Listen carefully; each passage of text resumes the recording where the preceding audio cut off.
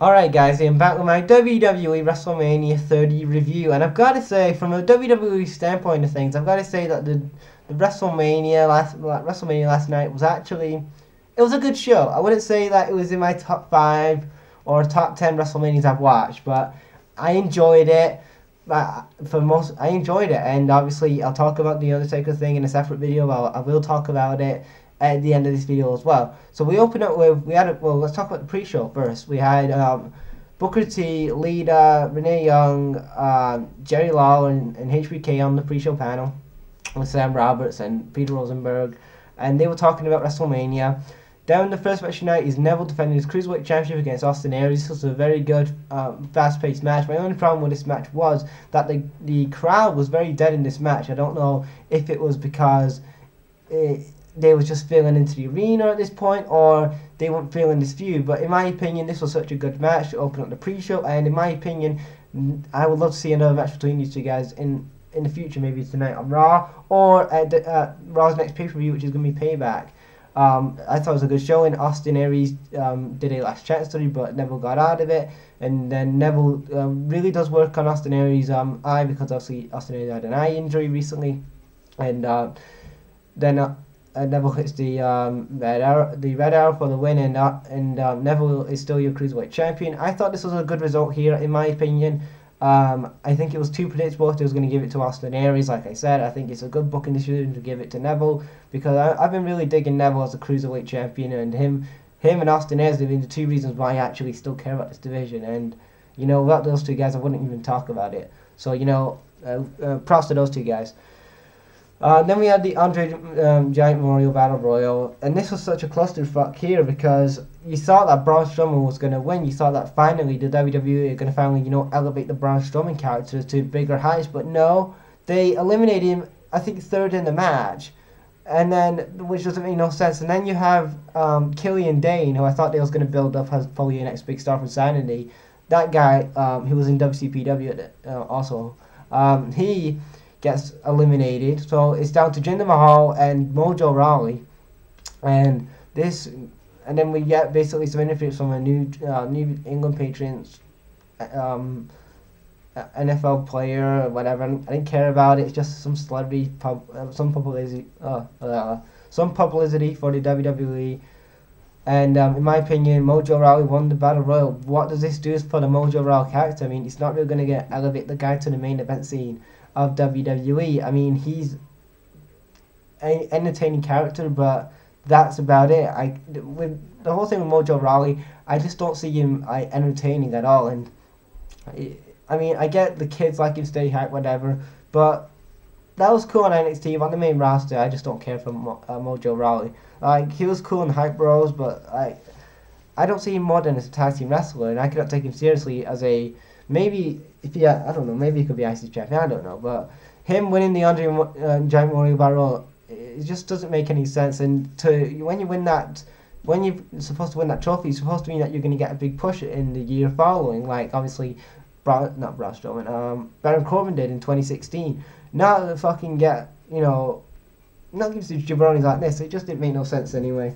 But anyway, the first match tonight was AJ Styles versus Shane McMahon on the actual card, and I thought this was a really good. Actually, before that, I better talk about Baron Corbin versus Dean Ambrose. Very good. This was a good match here. Um, Dean Ambrose retains. Bad booking decision there. Baron Corbin should have gone over. I don't know why they're keeping the title on Dean Ambrose. In my opinion, Dean Ambrose really needs a character change. It's been he has been uh, kind of the same old character for a number of years now, and I would really like to see them tweak Dean Ambrose character maybe as a heel and just do some different stuff because I see every time that I see Dean Ambrose match or he's in a feud, it's always the same stuff. He'll come out with a crowd or he will do some crazy shit promo like Brian Pillman or some shit. I want to see something different from Dean Ambrose. And I don't know, maybe he should cut his hair or do something to really reinvent himself. I don't know what that would be, but hopefully he would reinvent himself. Uh, then we get to the actual match. It's the actual show. It's AJ Styles versus Shane McMahon, and this was a really good opener, guys. Um, you know what? AJ made Shane look like a million bucks out there. I mean, you know what? AJ got the best. Po- that, that's probably the best Shane McMahon match I've ever. Well, that's probably yeah, the best Shane match, Shane McMahon match you're ever gonna see. that and the Kurt Angle match I had in 2001. But like in the PG era, this is the best Shane McMahon match he's ever had. Um, but yeah, he you know AJ and Shane was kicking ass. There's one point in the match where AJ tries to go for the coast to coast, but Shane gets him in a in a Hell's Gate. I thought that was a good spot right there. And then Shane goes, and then uh, Shane gets a trash can and puts it on AJ's face, and then he does the coast to coast onto AJ like he did to Vince at WrestleMania 17. Good spot there. At the end of the match, basically, um, Shane misses a 450 splash. Uh, and then AJ hits a Styles Clash and gets the win. AJ Styles beats Shane McMahon. Good booking decision here. It makes sense. I don't know. I mean, it would have been pointless to have um, AJ lose to Shane McMahon. To I mean, they could have gone with I guess Shane and AJ again at Extreme Rules. What's the next few Yeah, Backlash. So they have Backlash. I guess they could they could have done that again, but. I guess they might have another match. I don't know, but these two guys have good chemistry together. I didn't think that these two guys would actually I mean, I knew AJ Styles would, have a good match with Shane, but I didn't think it would be this good. So, you know, props to AJ Styles for, you know, making Shane a million bucks out there. Then we had KO versus Chris Jericho for the US title. In my opinion, this was a good match. I would say it wasn't like, it wasn't, it, it didn't touch Shane versus AJ. It was a good match for what it was, and I enjoyed it. Um, like I said, um, Jericho gets KO into the walls of Jericho. KO then gets Jericho on the, on the walls of Jericho. They go back and forth switching moves, and then at the end, um, KO hits a powerbomb on the apron and wins the match, and KO is your new United States champion. Um, again, another good decision here because Jericho's going on tour with and I see that maybe at Payback, I think he's booked for Payback, so after that, I think he's going away anyway. So, good booking decision here, and uh, yeah, I'm really enjoying this feud between KO and Jericho. Um, Next we have uh, the women's match. It was Charlotte versus Bayley versus Nia Jax versus Sasha Banks. And like I said in my preview video, I don't know why Nia Jax is in this match. She equals nothing, no relevancy or anything meaningful meaningful in the this title match at all. She hasn't been even a factor in this title match at all. Only the only way, the only three women who's been actually relevant in this feud are Sasha, Bayley, and Charlotte.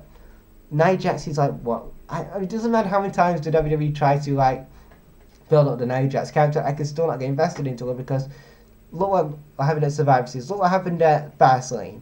I mean, are you trying to really trying to get me invested into the Nia Jax character if you're going to make a job out every time? Doesn't make no sense.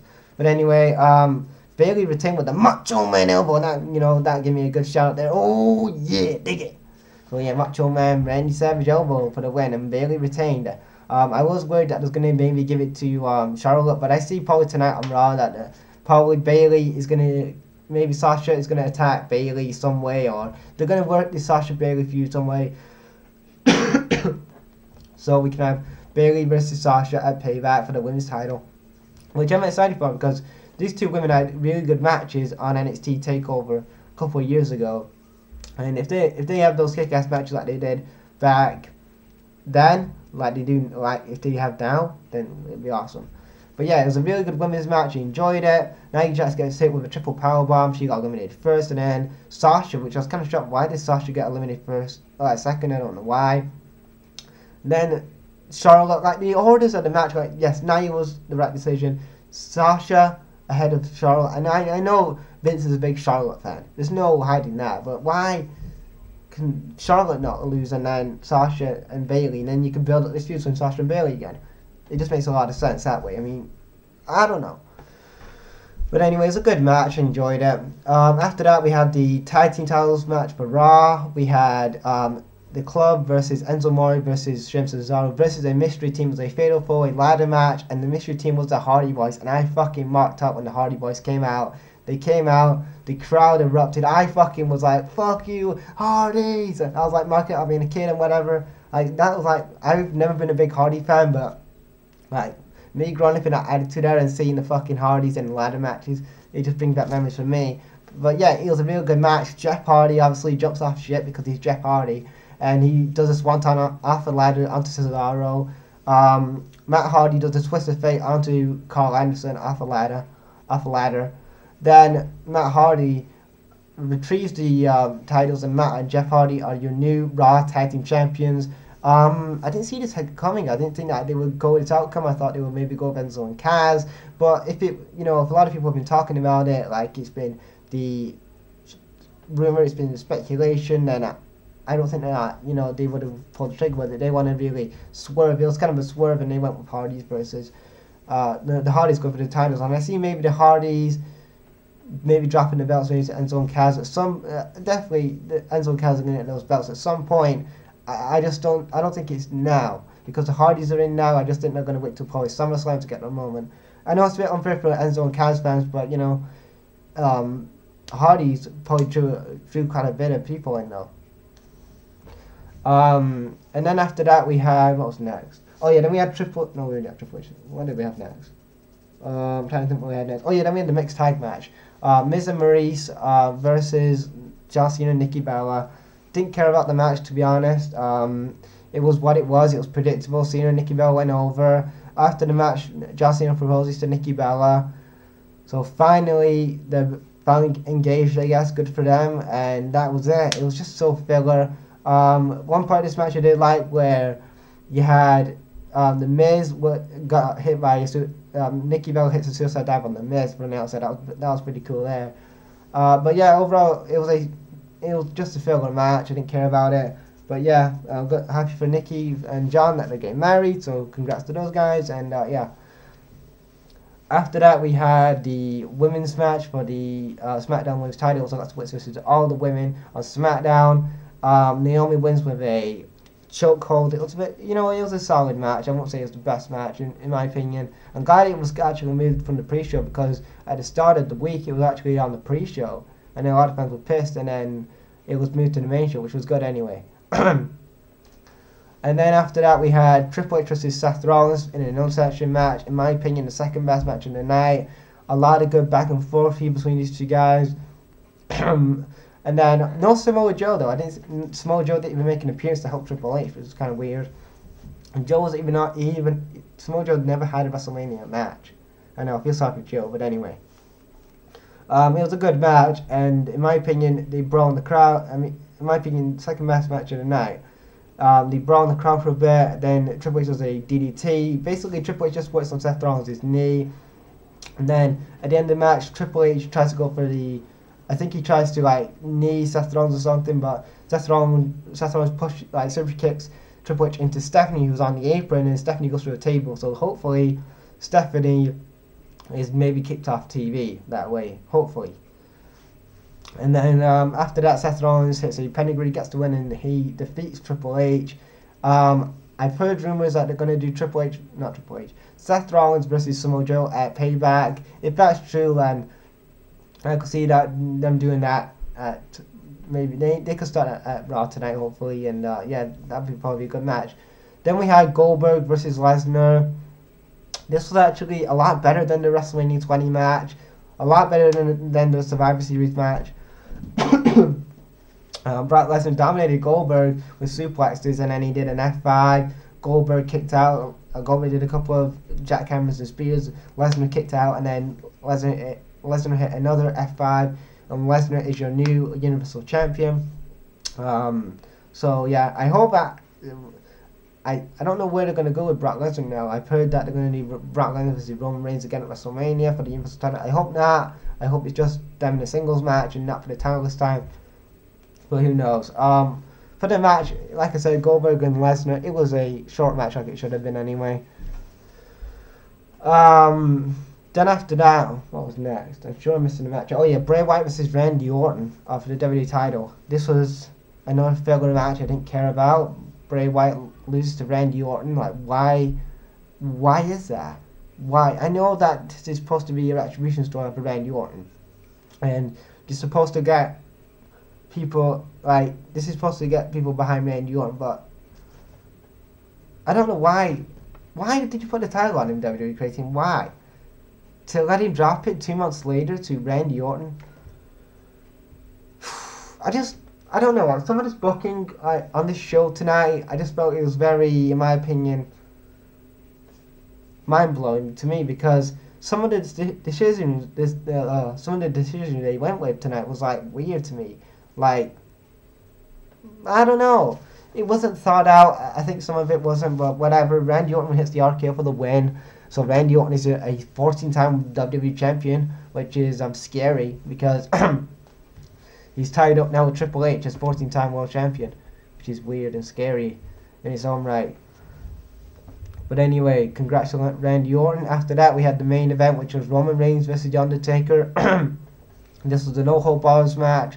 JR was on commentary. In my opinion, this was a good match. Um, I gotta say though, um, this no hold bars match was actually good. You had, you know, Roman was an absolute heel in this match. So he was acting very heelish. He was like slamming on the on uh, Taker's um, abs, and he was like you know, hitting the chair on Taker's back. He was like, I'm gonna retire your Roman Reigns, damn it. And then um, after that, he hits loads and loads and loads and loads of um, spears and Superman punches, and then finally the last Superman punch takes out Taker, and Roman Reigns beats Taker. After the match, Taker takes all his ring attire off, well, not all of it, but his hat, his cloak, and his gloves, and just leaves it on the ring, and that's it. Um, and the way they played this out tonight with Undertaker, the way that they played it out, and how they had basically the announcer say, "Is this going to be Undertaker's last WrestleMania?" And then he does that to close out the show. Makes me believe that this is the last that we'll see Undertaker, and it's kind of sad, but in my opinion, um, in my opinion, I want to say thank you, Undertaker. I know I, I'm still coming from cough, but yeah, I want to say thank you to the Undertaker for having like really making my childhood uh, really awesome. Like watching you have some awesome feuds with guys like Kane and Triple H and Shawn Michaels and Edge and all these other good feuds you've had in the past. I just like really enjoyed your. I've just really enjoyed your career and you're a true legend and first ballot Hall of Famer, no doubt.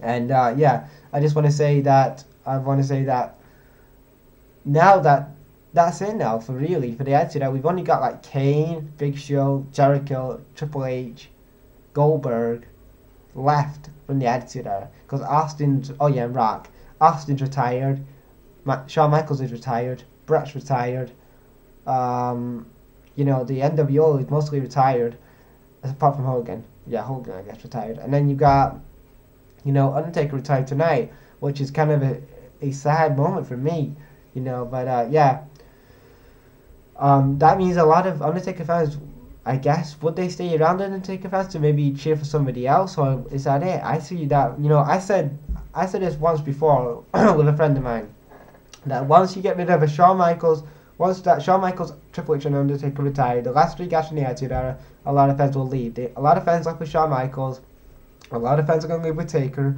and a lot of fans are going to leave with Triple H, even though it's going to be part of the company. But you know, like I mean it's going to be a sad time when those last few guys leave. And now we've lost another great legend in the business. Not lost in like you know like I mean, but we've lost a great like he's retired. I mean, he's retired, and we've lost a great in performer that you know he's paid his way, and now he knows he's age 52 now. He knows he's going to hang his boots up because Sting. he's another guy who retired last year as well. So, you know, I want to say um, thank you Undertaker for making me um, enjoy professional wrestling and uh, enjoy your matches uh, especially second part of your career anyway. you know, your parts with like, you know, you know, second part of Undertaker's career was legendary. You think about the matches he had with, you know, Shawn Michaels and Edge, and he had a good match with Batista and Kurt Angle and um, CM Punk and who else did he face? Um, he was 31. Oh yeah, it was Bray Wyatt. And then he had a good match last year with Shane. He even got a good match out of Shane. So in my opinion, thank you Undertaker. That is my WWE WrestleMania 33 review. I'll be back tonight for my Raw review, and I'll check you later.